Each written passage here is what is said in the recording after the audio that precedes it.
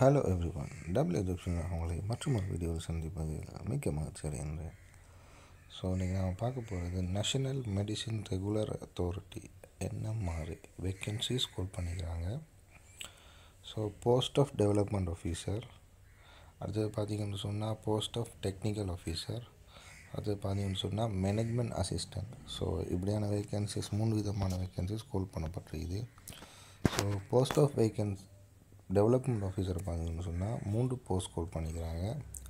இந்த மூன்று போஸ்ட்டுக்கும் ஹேவிங் அப்டைன் ஃபாலோவிங் டிகிரி அதாவது ஒரு டிகிரி கேட்டுக்கிறாங்க ஃபாலோவிங் ஃபீல்டில் யூசிஜி அப்லோட் பண்ணப்பட்ட degree so BSc special degree in microbiology இருக்கணும் அல்லது மொலாக்குலர் பயாலஜி அல்லது any other field biology science biology சயின்ஸில் பார்த்தீங்கன்னு சொன்னால் அந்த குறிப்பிடப்பட்ட அல்லது ஏதாவது ஒரு டிகிரி இருக்கணும். அடுத்து பார்த்தீங்கன்னா பிஎஸ்சி ஆர்டினரி டிகிரி மைக்ரோபயாலஜி அல்லது மொலக்குலர் பயாலஜி அல்லது பயோகெமிஸ்ட்ரி சப்ஜெக்ட் இது ஃபஸ்ட் கிளாஸ் ஒரு second class pass first class இல்லை செகண்ட் கிளாஸ் பாஸ் பண்ணிக்கணும். ஸோ இந்த மேலே கூறப்பட்டிருக்கிற டிகிரிஸ் இருக்கிறார்கள். அடுத்து பார்த்தீங்கன்னா BSc ordinary degree with physics subject physics சப்ஜெக்டாக BSc ordinary degree இருக்கணும். அது வித் ஃபஸ்ட் கிளாஸ் அல்லது செகண்ட் கிளாஸ் கேட்டுக்கிறாங்க அல்லாட்டி BA in master communication special degree கட்டுக்கிறாங்க so இதுக்கு ஏஜ் பார்த்தீங்கன்னு சொன்னால் இருபத்தி ரெண்டு வயது குறையாதவராகவும் நாற்பத்தி ஐந்து வயதுக்கு மேற்பட்டதாகவும் இருக்கணும். சலரி ஸ்கேல் போட்டிருக்கிறாங்க. ஐம்பத்தி நாலாயிரத்தி தொள்ளாயிரத்தி அறுபது and approval allowance so method of requirement பார்த்தீங்கன்னா ஸ்ட்ரக்சர் காம்படிட்டிவ் எக்ஸாமினேஷன் ஒன்று இருக்கும். ஸோ உங்களுக்கு கட்டமைக்கப்பட்ட ஒரு எக்ஸாமினேஷன் நடக்கும். அதோட சேர்த்து ஒரு இன்டர்வியூ நடக்கும். ஸோ என்ன சப்ஜெக்ட்டுக்குள்ள எக்ஸாம் நடக்கும்னா language proficiency aptitude subject knowledge subject knowledge இருக்கான்னு பார்ப்பாங்க அதோட லேங்குவேஜும் ஆப்டிடியூடும் பார்ப்பாங்க. ஸோ லேங்குவேஜ் ப்ரொஃபிஷன்சி ஆப்டிடியூட் பார்த்தீங்கன்னு சொன்னால் அதில் குறிப்பிடப்பட்ட விஷயங்கள் உள்ளடக்கப்பட்டிருக்கும்.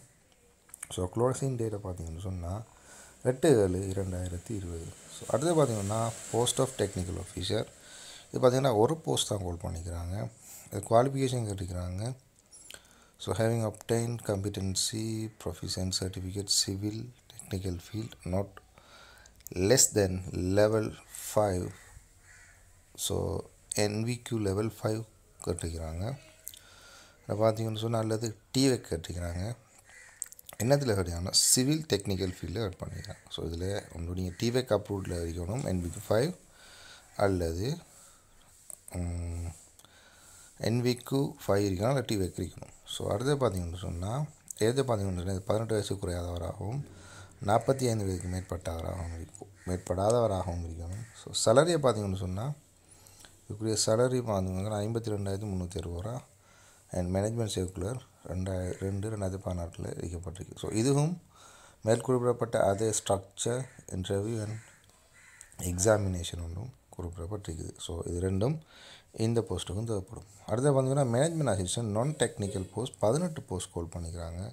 ஸோ இதுதான் நிறைய பேருக்கு ஹெல்ப்ஃபுல்லாக இருக்கும். ஸோ இதர குவாலிஃபிகேஷன் கழிப்புத்தர சாதன பரீட்சை ஆறு சப்ஜெக்ட் கேட்டுக்கிறாங்க இன் ஒன் சிட்டிங் ஒரே தடவையில் அவ்வளோமையான விஷயம் தான் ஒரே தடவையில் ஆறு பாடங்களும் பாஸ் பண்ணிக்கணும். அதில் ஐந்து கிரெடிட் பாஸ் இருக்கணும். அந்த ஐந்து கிரெடிட் பாஸுக்குள்ளே சிங்களம் அல்லது தமிழ் இருக்கணும். அல்லது மெத்தமெட்டிக்ஸ் இருக்கணும். அல்லது இங்கிலீஷில் அல்லது சாரி சிங்களம் அல்லது தமிழ் இருக்கணும். அத்துடன் சேர்த்து மேத்தமெட்டிக்ஸ் இருக்கணும். அத்துடன் சேர்த்து ஆங்கில மொழியும் இருக்கணும். ஸோ மூன்று கிரெடிட் பாஸ் கட்டாயம் இருக்கணும். ஸோ கழிப்பொருத்தராக எதிர பரீட்சையில் பார்த்தீங்கன்னா மூணு மூன்று பாடங்கள் பாஸ் பண்ணிக்கணும் காமன் சப்ஜெக்ட்டும் ஜென்ரல் நாலேஜ் ஜென்ரலும் டெஸ்ட்டும் தேவையில்லைன்னு சொல்லிக்கிறாங்க. ஸோ அதர் குவாலிஃபிகேஷன் பார்த்தீங்கன்னா having followed course computer word processing type setting so word processing type செட்டிங்கில் ஒரு டிவேக் அப்ரூவ் சென்டரில் ஒரு கோர்ஸ் உண்டு. அல்லது இது இது தொடர்பான இது சிமிலரான இது தொடர்பான ஒரு கம்ப்யூட்டர் சம்மந்தமான ஒரு கோர்ஸ் வந்து செய்யப்பட்டிருக்கணும். ஒரு ஃபாலோ பண்ணிக்கணும் இந்த மேனேஜ்மெண்ட் அசிஸ்டண்ட்டுக்குரிய வயதை பார்த்தீங்கன்னு சொன்னால் பதினெட்டு வயசு குறையாதவராகவும் நாற்பத்தைந்து மேற்படாதவராகவும் இருக்கணும். ஸோ மென எம்ஏக்குரிய சேலரி சேர்க்குள்ள பார்த்தீங்கன்னா நாற்பத்தி எட்டாயிரத்தி ஐநூற்றி நாற்பது ரூபா எஸ்பத மேனேஜ்மெண்ட் ரெண்டு பதினாறு மேனேஜ்மெண்ட் சேர்க்குள்ள என் அப்ரூவல் ஸோ இதுவும் கட்டமைக்கப்பட்ட ஒரு இன்டர்வியூ அண்ட் ஒரு aptitude language proficiency computer literacy test மூன்று டெஸ்ட்டும் வைப்பாங்க. ஸோ மூன்று சப்ஜெக்டில் என்னென்ன விஷயங்கள் உள்ளடக்கப்பட்டிருக்கும்னு சொல்லி குறிப்பிடுறேன். இது எட்டு நாலு ரெண்டாயிரத்தி இருபதில் இந்த வேக்கன்சி ஹோல்ட் பண்ணி. முக்கியமான விஷயம் நீங்கள் என்ன செய்யணும்னா ஆயிரம் ரூபாய் பே பண்ணணும். ஸோ இந்த அக்கௌண்ட் நம்பர் நான் டிஸ்கிரிப்ஷனில் மென்ஷன் பண்ணுறேன் ஸோ பிஓசி பேங்க் அக்கௌண்ட் நம்பருக்கு ஸோ இவங்கள நிறுவனத்துக்கும் நீங்கள் ஒரு பே ஒன்று பண்ணணும். ஸோ அதர் எஃபெக்டை பார்த்தீங்கன்னா சுட் பி ஸ்ரீலங்கன் சிட்டிசனாக கட்டாயம் இருக்கணும். சுட் பி அதாவது உடல் ரீதியாகவும் மன ரீதியாகவும் என்ன செய்யணும்? நல்ல ஃபிட்னஸான ஒரு ஆள் இருக்கணும்.